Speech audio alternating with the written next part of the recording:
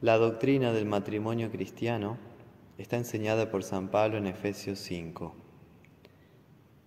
El matrimonio no debe ser menospreciado, sino que hay que considerarlo conforme a la palabra de Dios, con la cual se engalana y se santifica. No es un estado especial, sino el estado más universal y más noble que penetra toda la cristiandad y que se dirige y extiende por todo el mundo. Esta es la realidad. El matrimonio es un estado de vida bueno, santo y agradable a Dios, un don de Dios. Veamos este tema. Antes de entrar en Efesios 5, para hablar del matrimonio hay que volver al principio, a Génesis 2, a la creación del matrimonio por Dios. Génesis 2 nos habla que la creación del hombre fue no buena hasta que hubo alguien más para ser objeto de su amor, Eva. No para ser su sierva o esclava, sino para ser su amante, esposa. Eva fue creada de una costilla de Adán para mostrar que ella es su corazón y totalmente apropiada o ideal para él y comparable a él. Porque Adán todavía no tenía una esposa y no podría completar el mandato de Dios de tener dominio sobre la creación y tener hijos sin una mujer que Dios le ha dado. Adán y Eva se necesitaban mutuamente. No era una maldición, sino una bendición el matrimonio. Al hombre le fue dada la mujer para que la cuide y provea para ella demostrándole así su amor, como dice San Pablo en Efesios 5, 25. Maridos, amad a vuestras mujeres. Y la mujer es creada para recibir el amor del hombre y de esa manera retribuirle ese amor libre y espontáneamente. Esa es la comprensión cristiana del matrimonio. Adán y Eva, siendo dos personas distintas, al mismo tiempo se complementan. Son dos que se fusionan y son ahora un solo ser. Los dos llegan a ser una sola carne y de esa unión de dos personas proviene otra, un niño o una niña, que es fruto de este amor. Cada uno posee dones únicos de Dios que hacen que sean compatibles el uno con el otro. Juntos son un todo. Y por eso la dependencia mutua en el matrimonio no fue una maldición de Dios, sino un don, una bendición para la edificación de la familia humana. Era un buen don de Dios, porque reflejaba el amor y la unidad de las personas dentro del mismo Dios, Padre, Hijo y Espíritu Santo. Génesis 2.24 resume lo que es el matrimonio de esta manera. Por tanto, dejará el hombre a su padre y a su madre, y se unirá a su mujer, y serán una sola carne. Pero la historia no termina ahí. No podemos hablar del matrimonio cristiano sin tratar primero algo más. El problema del pecado en el matrimonio. El pecado puso en jaque desde el mismo comienzo la existencia del matrimonio. En Génesis 3, la serpiente o Satanás tienta a Eva, esposa de Adán, engañándolos a ambos para que desobedecieran a Dios y comieran del fruto prohibido. El matrimonio de Adán y Eva queda así manchado por el pecado, contaminado, infectado y quebrado, porque se pierde esa comunión con Dios y del uno con el otro. Se pierde la fe y el amor. Ahora entra en estas relaciones de Dios con el hombre y de el hombre con la mujer el egoísmo, el odio, la culpa, el resentimiento, la mentira y la muerte. Y esto pasará a la humanidad. Porque aquí estamos en el origen del pecado original, justamente. Este es el origen del mal y del pecado que hay actualmente en el mundo. Parece que el diablo ha triunfado. Sin embargo, interviene Dios, que visitó esa tarde en el huerto del Edén al matrimonio de Adán y Eva. Entonces Dios llamó al hombre y le dijo, ¿dónde estás tú? Y él respondió, oí tu voz en el huerto y tuve miedo porque estaba desnudo y me escondí. Y Dios le dijo, ¿quién te enseñó que estabas desnudo? ¿Has comido del árbol de que yo te mandé no comieses? Y el hombre respondió, la mujer que me diste por compañera me dio del árbol y yo comí. Entonces Jehová Dios dijo a la mujer, ¿qué es lo que has hecho? Y dijo la mujer, la serpiente me engañó y comí. Génesis 3, 9 al 13. ¿Dónde está Adán cuando Eva es tentada? Él está con ella.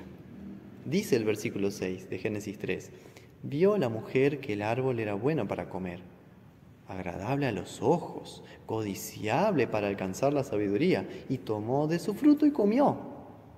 Y dio también a su marido, el cual comió así como ella. Cuando el diablo trae esta nueva y mortal palabra, Adán guarda silencio. No defiende a su esposa o la honra del nombre de Dios o la palabra de Dios sino que le permite a Eva escuchar a la serpiente y dejar que la serpiente sea maestra. Como cabeza de la primera casa, como jefe de hogar, Adán era responsable por su mujer y sus futuros hijos en cuanto a la fe.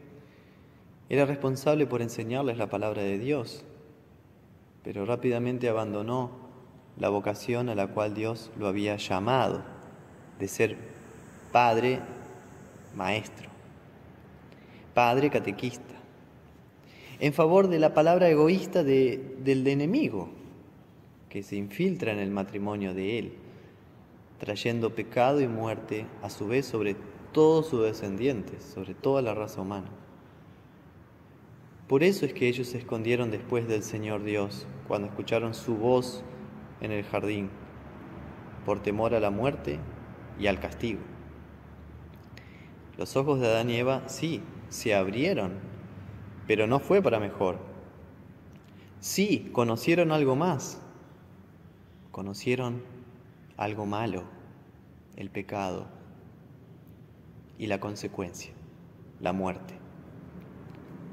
Y si bien, aunque fue Eva quien sostuvo la conversación con la serpiente, con Satanás, y fue la primera en pecar y en compartir el fruto prohibido, sin embargo Dios culpa a Adán, al hombre, la cabeza de familia, por la caída en pecado. Y esto lo confirma claramente Romanos 5:12 también. Como el pecado entró en el mundo por un hombre, Adán, y por el pecado la muerte, así la muerte pasó a todos los hombres por cuanto después todos pecaron. Y el pecado de Adán no solo lo afectó a él, sino en consecuencia a toda la creación sobre la cual se le había dado dominio. Eso nos cuenta Romanos 8, versículos 22 y 23. Por eso es que cada persona sentirá los efectos del pecado en el mundo. particularmente dentro de las vocaciones que Dios le ha dado específicamente. Por ejemplo, la mujer experimentará dolor y sufrimiento en los partos. Su deseo será usurpar el liderazgo de Adán o dejar la vocación de mujer. Por su parte, el hombre estará inclinado especialmente a abandonar su vocación de varón o de esposo servicial y amoroso. Se verá tentado a abandonar esposa e hijos, o a maltratarlos, o a ser un vago y un mantenido, o un tirano, o no educando a sus hijos en asuntos espirituales, y tenderá a ceder su liderazgo sobre la mujer. El hombre también experimentará la amargura teniendo que luchar cada día contra todo tipo de dificultades para proveer para su familia, o sufriendo después, en la ancianidad, la desobediencia, la ingratitud y el abandono de parte de sus propios hijos, que no honran a padre y madre. Todo este cuadro que les vengo pintando es para que ahora lleguemos a Efesios 5 el matrimonio cristiano como don de Dios. Porque aquí la historia trágica de Adán y Eva, de su matrimonio, se revierte. Gracias a Dios. Aquí la historia cambia. San Pablo nos presenta algo nuevo, el modelo cristiano de matrimonio, basado en el Evangelio del amor de Cristo por su iglesia habla a los maridos y a las esposas, a los bautizados, en base a la relación que ahora ellos tienen con Dios y a la relación que tiene Cristo con su iglesia. Cristo es el esposo fiel que da la vida por su esposa, la iglesia. Él, nacido en el marco del humilde matrimonio de Nazaret, el de José y María. Él vino para morir y pagar por los pecados de todos los matrimonios y de todas las personas del mundo. El Hijo de Dios se encarna para asumir la culpa y el castigo de Adán y Eva y de la humanidad entera. Es en el altar de la cruz donde Cristo contrae matrimonio con la iglesia, amándola sin medida, a pesar de las prostituciones de ella y de todos nosotros. Es allí, en el altar de la cruz, que Cristo, el nuevo Adán, la desposa, sellando su amor por ella al rescatarla del pecado, la muerte, fruto del pecado, y del poder del diablo, la causa del pecado y de la muerte. Y lo hace mediante su sangre derramada en el Calvario. Así es como Cristo limpió completamente a su iglesia de todos sus pecados. Porque el altar de la cruz fue donde Cristo amó a la iglesia y se entregó a sí mismo por ella, para santificarla, habiéndola purificado en el lavamiento del agua por la palabra, a fin de presentársela a sí mismo una iglesia gloriosa, que no tuviese mancha, ni arruga, ni cosa semejante, sino que fuese santa y sin mancha. Del costado de Adán, Eva fue creada. Pero del costado traspasado de Cristo nació la iglesia, su esposa, la iglesia, como nueva Eva, creada y santificada, para que su vestido de novia no tuviese mancha ni arruga, porque su vestido de novia, blanco y resplandeciente, es el santo bautismo como la prometida de Cristo La iglesia es santa porque Él mismo la viste para la boda.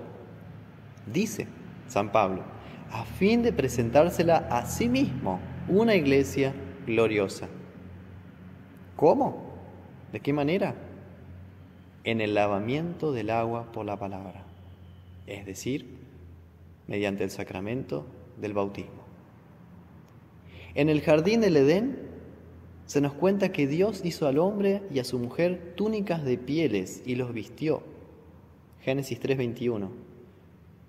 Pero en nuestro bautismo nosotros fuimos revestidos también de la justicia de Dios en Cristo. Como está escrito en Gálatas 3:27. Todos los que habéis sido bautizados en Cristo, de Cristo estáis revestidos. Así Jesús se nos presenta en Efesios 5 como este nuevo Adán que viene del cielo, que deja a su padre y a su madre y que se une a su mujer, la Santa Iglesia Cristiana, dando su vida por ella. Y mediante la palabra y los sacramentos, los dos llegan a ser ahora una sola carne. Cristo cabeza de la iglesia, y la iglesia, cuerpo de Cristo. Como dice en Efesios 5:23, porque el marido es cabeza de la mujer, así como Cristo es cabeza de la iglesia, la cual es su cuerpo, y Él es su Salvador. Y San Pablo añade en el versículo 32, Grande es este misterio, mas yo digo esto respecto de Cristo y de la iglesia. ¿Qué quiere decir? Que este misterio de amor que estaba preanunciado en Génesis 2, en el matrimonio de Adán y Eva, ahora ha sido revelado claramente en el matrimonio de Cristo con su iglesia. Iglesia que aquí en la tierra espera serena, ansiosa también, el regreso de su prometido para disfrutar finalmente de qué? De la fiesta de bodas del Cordero. Porque cuando Cristo venga por segunda vez, escucharemos decir desde el cielo, como nos dice Apocalipsis 19, gocémonos y alegrémonos y démosle gloria, porque han llegado las bodas del Cordero, y su esposa se ha preparado de lino fino, limpio y resplandeciente. Bienaventurados los que son llamados a la cena de bodas del Cordero. Estas son palabras verdaderas de Dios. Mientras tanto, la iglesia debe luchar, es militante, perseverar en la fe. Como al diablo le queda poco tiempo, no le queda otra más que intentar, engañar y pretender engañar a nuestra sociedad con el afán de destruir esta institución de Dios, el matrimonio y la familia. Nosotros estamos en medio de esta lucha, hermanos. Y es por eso que si ustedes leen después en Efesios 6, San Pablo va a hablar de la armadura que el cristiano tiene para estar firme contra las acechanzas del diablo. Porque hoy más que nunca es cuando debemos enseñar del don del matrimonio y de la bendición de Dios, que es la familia, según el modelo original de Dios en Génesis 2. Incluso Dios nos dice en su palabra, a causa de las fornicaciones, cada uno tenga su propia mujer. Pues mejor es casarse que estarse quemando. Primera Corintios 7, versículos 7 y 9. Y también San Pablo nos cuenta cómo será al final del mundo. El Espíritu dice claramente que en los postreros tiempos, en los postreros tiempos, algunos escuchando a doctrinas de demonios, prohibirán casarse. prohibirán casarse. Primera Timoteo capítulo 4, versículo 1 y 3. Esos últimos días han llegado claramente. Se nota por las ideologías que dan vuelta. Y por eso como cristianos luteranos tenemos el llamado de Dios primero nosotros a arrepentirnos, a pedir perdón a Dios en nuestras desviaciones en cuanto a la sexualidad, a nuestro aprecio al matrimonio o a la familia, y a defender nuevamente el matrimonio según el Evangelio de Cristo, que Cristo amó a la iglesia y se entregó a sí mismo por ella, por su esposa. Fíjense si no tiene valor para Dios el matrimonio. Por eso San Pablo, en primer lugar, nos exhorta a nosotros, a los maridos. Maridos, amad a vuestras mujeres, como a sí mismo. ¿Eh? Versículo 25 y 33. Y tal vez te preguntarás, bueno, pero ¿qué significa esto? Significa que el esposo ama entregando, dándose a sí mismo, que él provee todo lo que su esposa necesita, que trabaja y se esfuerza para que ella esté satisfecha y se regocije con lo que tiene. Su gozo está en darle todo lo que Él es, todo lo que Él tiene para satisfacer las necesidades de su esposa. También Él le enseña a ella la palabra de Dios y a toda su familia acerca de Cristo y de sus bendiciones, tanto temporales como eternas. ¿Eres un esposo? ¿Ves las necesidades de tu mujer, de tu amada esposa? ¿Consideras lo que es mejor para ella? ¿Es tu mayor alegría servirle, proveer para ella? Y también, por el otro lado, a la mujer, San Pablo también le habla y le dice, la mujer respete a su marido, como la iglesia está sujeta a Cristo. Versículo 33 y 24. ¿Qué significa esto para las esposas? Significa que la esposa ama recibiendo. Ella ve, aprecia las manos de su esposo trabajando y sabe que el trabajo de esas manos es suyo también. No hay competencia, hay interdependencia. Porque también ella crea con los recursos que le proporciona el esposo o que ella misma consigue, lo que es mejor para el hogar. Le da belleza a ella al hogar. Así como la iglesia también crea música y arte y cosas por el estilo con pasajes del Evangelio que le ha sido dado. ¿Eres esposa? ¿Recibes lo que tu esposo te da con acción de gracias, con gratitud? ¿Buscas la voluntad de Dios en la forma en que dirigís tu hogar? ¿Has hecho de tu hogar un lugar bello, agradable, acogedor para tu familia, tanto en lo corporal como en lo espiritual? Cuando era joven, pedí a Dios, Señor, solo dame una esposa que ame a Jesús. Años después, Dios me concedió una esposa cristiana, sin yo merecerlo. Y ya van también tres hijos, fruto de este amor. Cristo también solo me pide hoy una cosa. Ama a tu esposa. Entrega tu vida por ella y por tus hijos, como yo amé a mi iglesia. Así, el amor de Cristo, que se sacrificó por los demás, es ahora el modelo que yo tengo para la vida en matrimonio, en mi hogar.